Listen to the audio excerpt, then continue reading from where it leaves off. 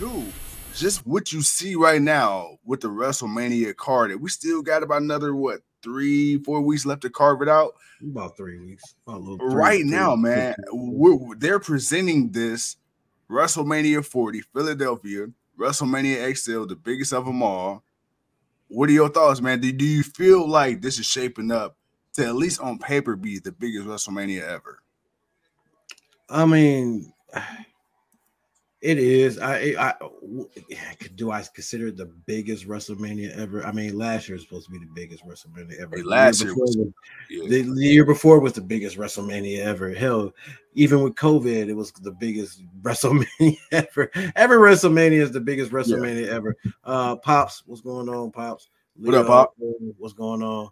Um, I feel like I can't say that this is the biggest WrestleMania ever. Um, because uh, you know, as as far as them doing two night WrestleManias, yeah, they've been, you know, they've been they've been, you know, putting it together and how they've been doing it.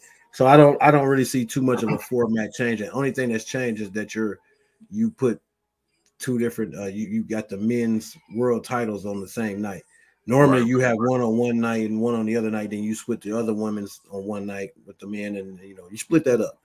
Uh, still haven't figured out what night everything is going to be on, but we know as we got Toni Storm and her mini me out in the middle of the ring right now for a tag team match. Um, it, it, it's shaping up. I mean, the Logan Paul, I, I, I was wondering if it would be a triple threat. I thought it would yeah. be just one, but it ended up being Paul versus KO and Orton. I'm mm-hmm. fine with that, but I can see that being a reason why Logan Paul may ended up winning. Yeah, we'll get to that yeah. in the predictions. Um, the tag team match, I was okay with uh uh, uh catch uh was the, the new catch camp the dirt uh, uh the uh, uh, uh, uh the new catch republic yeah, the New Catch Republic.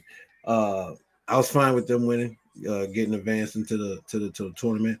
Uh, El Gato, I was fine with them advancing to the tournament. That was cool. Um, the Bayley Dakota Kai match, I didn't care for it. I it, and also I want to say, you know, I understand, you know, you wanted to highlight Dakota Kai as the mastermind, but Io, god damn it, Io, yeah, your WWE champion. Yeah. She should be presented front and face front first, and she should have the belt on, and she needs to be presented as the leading lady.